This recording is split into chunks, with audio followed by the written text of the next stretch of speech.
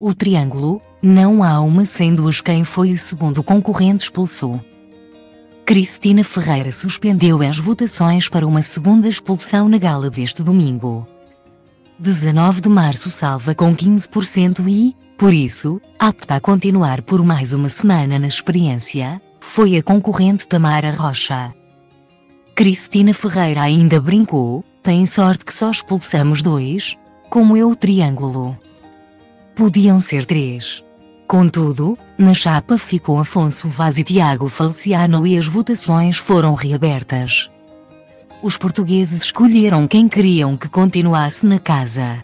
Tiago Falciano foi salvo com 36% dos votos dos portugueses. Sendo assim, o segundo expulso da noite da casa foi Afonso Vaz com 64% dos votos. Afonso Vaz juntou-se a Dário Pinto. A gala de O Triângulo deste domingo, 19 de março, dia em que se celebra o Dia do Pai. Ficou marcada por mais uma expulsão logo ao início.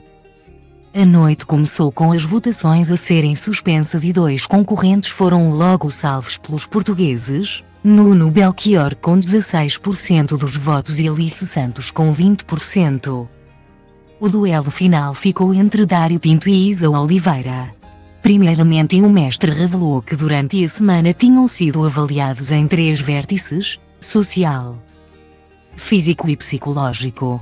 Depois, Cristina Ferreira revelou que ambos os jogadores iam ser confrontados com uma frase do público que alegadamente os representa, e teriam a última oportunidade de argumentar para provarem que merecem continuar no jogo.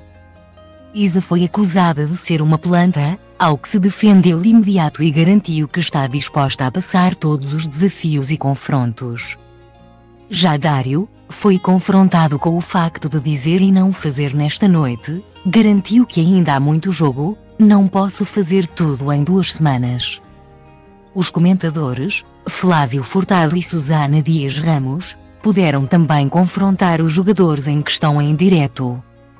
Apesar de renhido, Isa foi salva com 47% dos votos e, por isso, Dário abandonou o jogo com 53% dos votos.